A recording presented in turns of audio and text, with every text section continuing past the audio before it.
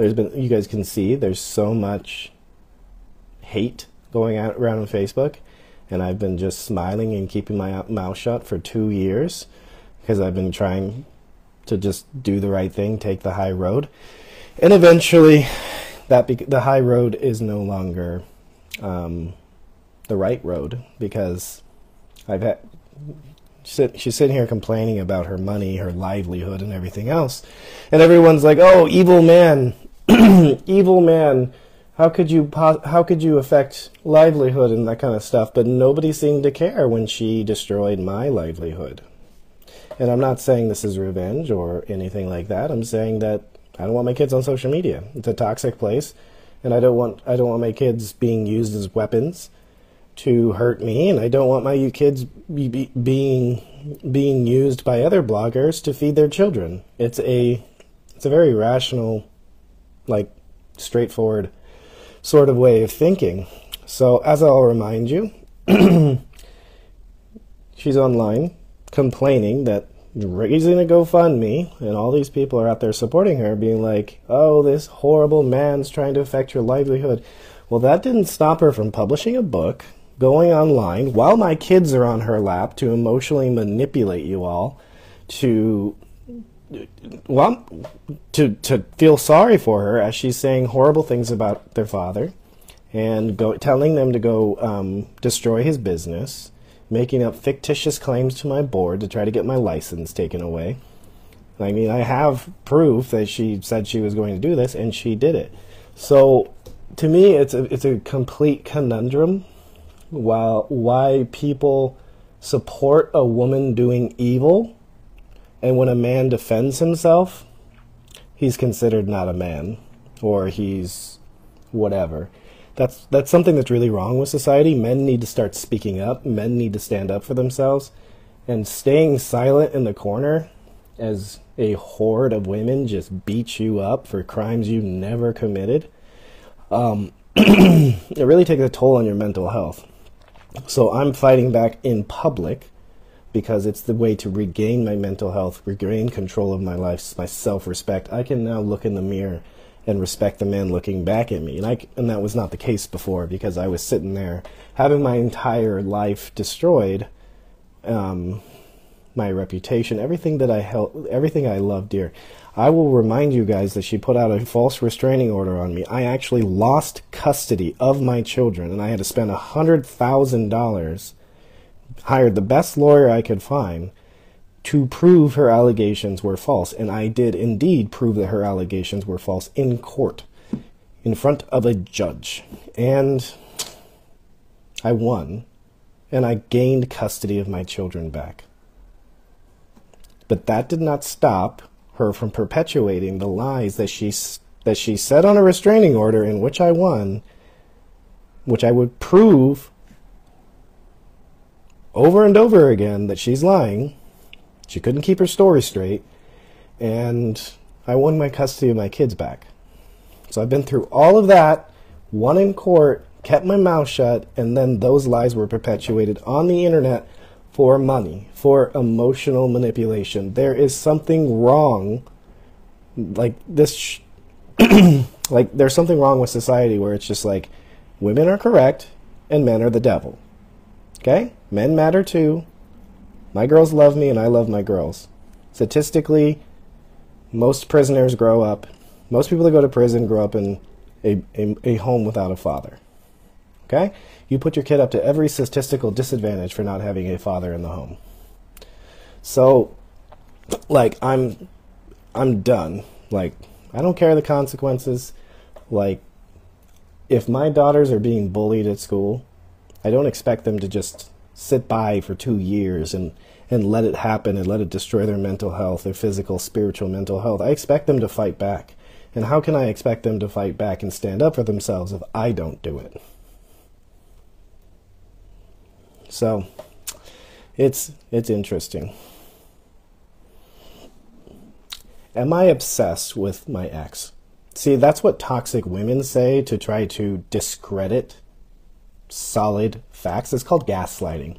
When you present rational, solid thought with a calm face and a clear demeanor, people just people just um, women women mostly men will do this too. Will just come back with you're jealous, you're not a man. They'll discredit you. That's called gaslighting. Okay, it's abuse. It's abuse. so you guys can just keep keep gaslighting me. It's fine. I know exactly what's true and I know exactly who I am. Am I perfect? No. But uh, I am not guilty of the things that she says online. So she can raise her money.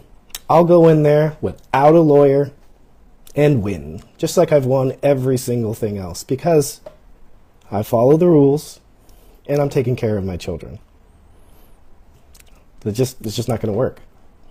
In fact, she's going to take that money and then she's probably going to, it, it's not going to cost that much money to go to a single hearing. So she's going to pocket that and then go on a vacation. You might call that a scam. So I don't really care anymore. Truly don't. I'm still going to be making educational content. Anna Louise is coming over here in about an hour, and we're going to make some educational content. Um, I haven't decided on which, and that's what I'm trying to figure out now. I might do it. We might start the sciatica series. I'm not sure. Um, or maybe we'll just do, I don't know, we'll see if she has something going on. Go to work. I do go to work. I charge $300 an hour, so I only really need work maybe three or four hours a day to pay my bills and make a living. So, you know, and that's not a brag. It's just like people just don't understand business. You know, when you're when you charge more money, you don't have to work as much. That's why I work for myself. So, yeah, I mean, throughout the last two years, there's been all kinds of lies. Like, I threw my daughter down and she got a concussion. And then she went live at the doctor's office trying to make the doctor agree that I gave her a concussion. And the doctor was like, oh, it was a bug bite. You know, constantly interrogating my daughter to try to make it, try to twist her words to, to say something bad about me and then bloggers carry it. Like my kids are not going to be on social media as long as that woman has custody of my children. My kids are not online, and it's going to take, um, it's going to take some time for me to take everything down. And it is a lot of work, but absolutely, my kids are not online. You can't use kids as a weapon against their dad. I'm not using the kids as a weapon against their mom. I'm just simply telling the truth of what I experienced and endured during the marriage, and afterwards. Um, to raise awareness of what's going on on social media these days where people can just make up stories and fabricate stuff.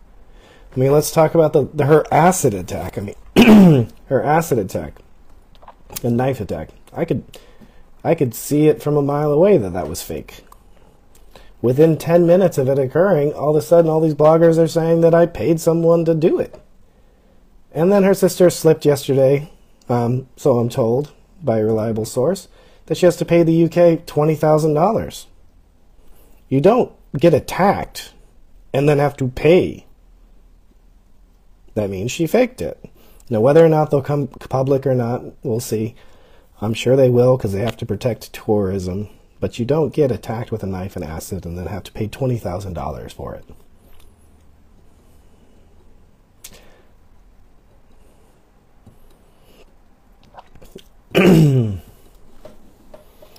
Somebody says remove my ki- my videos of my kids on my profile.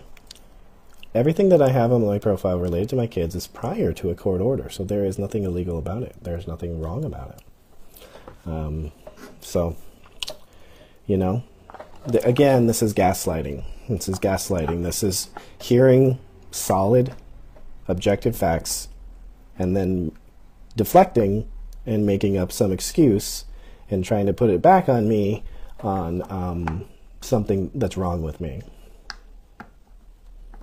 So it's cool. Anyways, people say I'm psychotic. People say whatever. It, guys, it, I don't care. Your opinions don't matter to me. Like you do, I don't respect you. Like I just don't. You're out here, like pushing agendas You guys can support someone without trying to destroy others. I mean, why did all this start? It started because I was not afraid to be on social media, and I would, and I represented a threat. Because the bigger that I got, um, she knew I'd have a bigger voice to tell the truth. So therefore, what do narcissists have to do when you're afraid of somebody telling the truth about your character? They have to discredit you, and that's what happened. For two years, I was being ridiculed, harassed. There's like all this stuff, just so that if I ever did speak, that I wouldn't be believed. Well, that's that that smear campaign was very effective, but what I have on my side is the truth and evidence. So I can prove every single thing I said. People are ready to testify. I can prove it all. In fact, I cleared it all with a lawyer prior to saying it. Because I'm smart.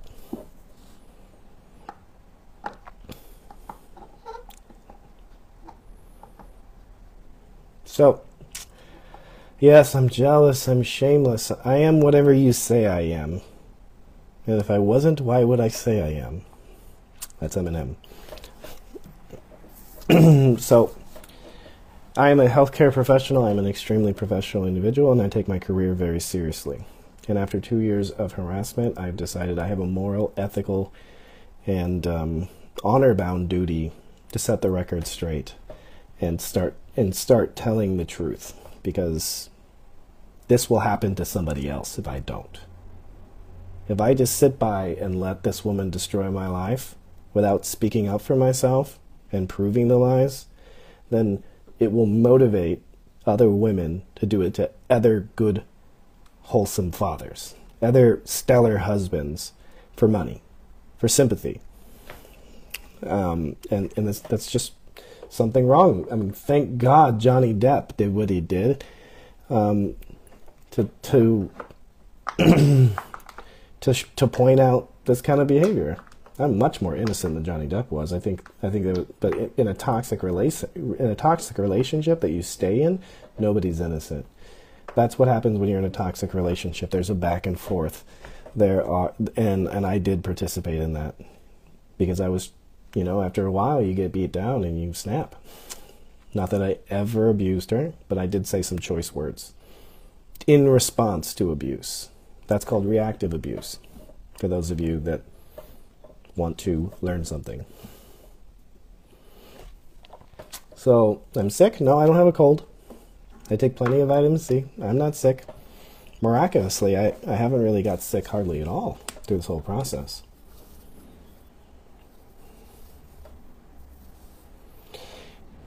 You know what's you know what's interesting on here? This is a pet peeve of mine, is that people use God to justify their opinion. Like, have you guys not been to church? Have you not have you not read a Bible? Using God's name in vain is a sin, right? That's what the Bible says. So if you're using God to justify your opinion and then talking about generational curses and all this stuff, you're a sinner you're going to hell. That's the Bible, not my opinion. So I don't know what it is that people think that you can use God to justify your opinion, but that is a sin. Read the Bible.